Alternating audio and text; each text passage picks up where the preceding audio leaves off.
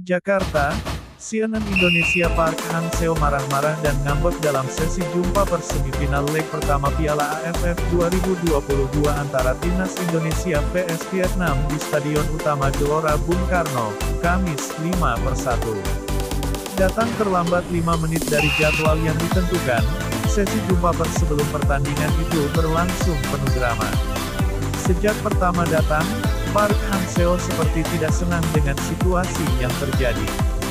Seperti biasa, Hang Seo diberikan kesempatan memberi pernyataan awal soal pertandingan Indonesia vs Vietnam besok, Jumat 6 per 1. Begitu juga dengan Pham Tuan Hai, pemain Vietnam yang mendampingi Hang Seo di sesi jumpa pers tersebut.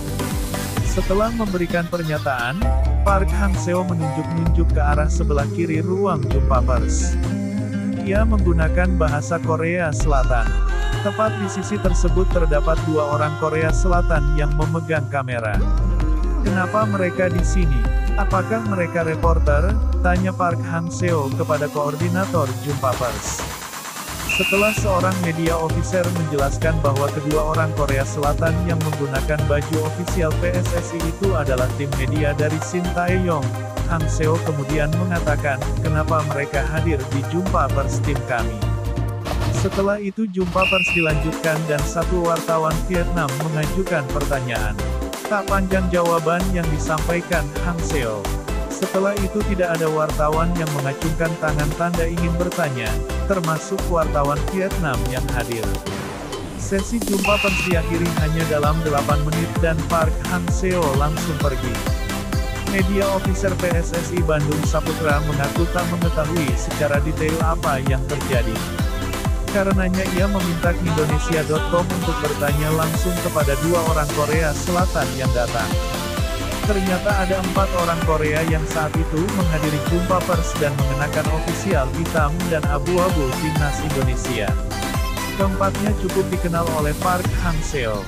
Hal ini membuatnya tidak senang.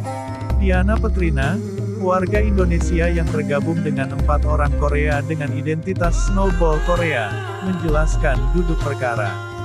Hang Seo meminta orang Korea yang hadir itu untuk keluar ruang jumpa pers. Mereka ini saling kenal.